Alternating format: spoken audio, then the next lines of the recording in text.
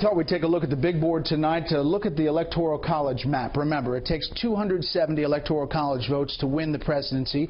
Tonight we have 201 for Hillary Clinton, 164 for Donald Trump. Now, this is the map red, the blue. The gray states are key battleground states. As of tonight, if the election were tonight, in the average of polls, even if it's a razor thin lead, this is how it would go down. Hillary Clinton would pick up Nevada, Colorado, Iowa, Wisconsin, Michigan, Ohio, Pennsylvania, New Hampshire, Virginia, North Carolina, and Florida. Donald Trump would win as of tonight in the average of polls, Arizona and Georgia, although Georgia's close.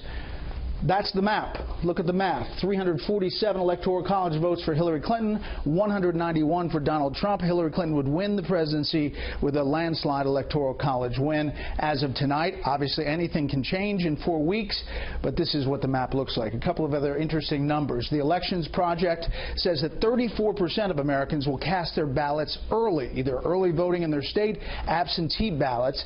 Some key states where that is happening, Florida, 2.7 million Floridians will vote early. There are already about 50,000 votes in.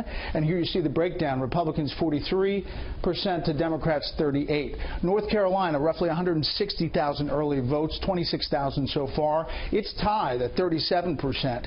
And here in Iowa, roughly 260,000 early votes, 88,000 so far.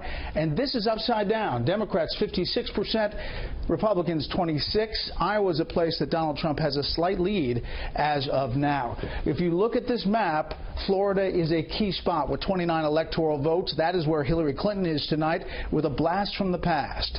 Jennifer Griffin is covering the Clinton campaign.